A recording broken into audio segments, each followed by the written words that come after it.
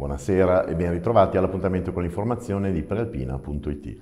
Sindaco sceriffo in manette, lo scippatore seriale è successo a Casorezzo, dove il primo cittadino Pierluca Oldani, dimostrandosi in possesso di nervi molto saldi, domenica sera ha bloccato il malvivente che aveva già colpito quattro volte in paese.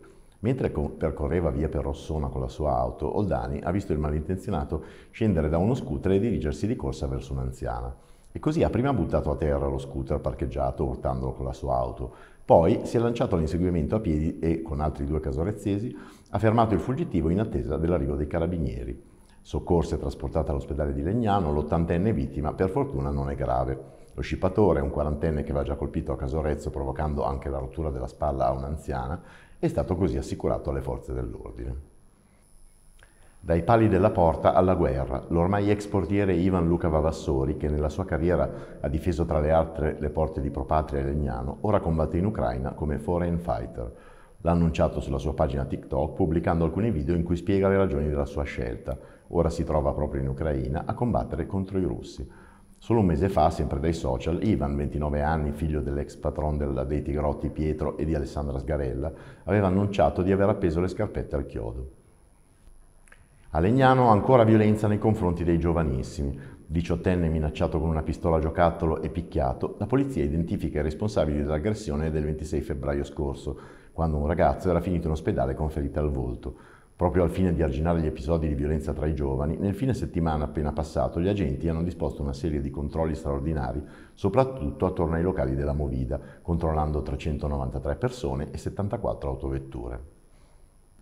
Il recupero di un drone stava per costare caro ad un padre proprio all'indomani della festa del papà. Domenica, intorno alle 17.30, i vigili del fuoco di Inveruno sono dovuti accorrere in via Petrarca per soccorrere un uomo di 40 anni vittima di un curioso incidente. L'uomo stava giocando con il figlio utilizzando appunto un drone quando l'oggetto volante è finito sul tetto di un capannone. Il quarantenne ha tentato di recuperarlo salendo sulla tettoia, ma è purtroppo caduto con un volo di circa 5 metri. Sul posto anche un'ambulanza e i carabinieri. L'uomo ha riportato ferite che hanno reso necessario il ricovero con l'elicottero dell'elisoccorso che lo ha portato all'ospedale Niguarda di Milano. Receptionist, portieri, cuochi, camerieri e barman, addetti al banco, pizzaioli, guide e accompagnatori turistici sono le figure più richieste dalle aziende del turismo e della ristorazione che vogliono ripartire. Gli enti bilaterali, bilaterali del turismo corrono ai ripari unendo domanda e offerta con il My Job Day in programma lunedì 28 marzo una giornata intera all'Hotel Europa di Ispra in cui le aziende del settore e gli aspiranti lavoratori si potranno incontrare in colloqui mirati in visita di possibili assunzioni. Nell'intervista di Elisa Polveroni, il presidente di Federalberghi Varese Frederic Venturi fa il punto sul settore tra la ripresa dei laghi e le difficoltà di Malpensa con il T2 ancora fermo. Siamo col presidente di Federalberghi Varese, Frederic Venturi, un'iniziativa che aiuta il turismo nel momento in cui c'è una ripresa nel, mm, eh, nei laghi e una difficoltà ancora forte eh, a Malpensa. Eh, si può sostenere in questo modo una ripresa complessiva?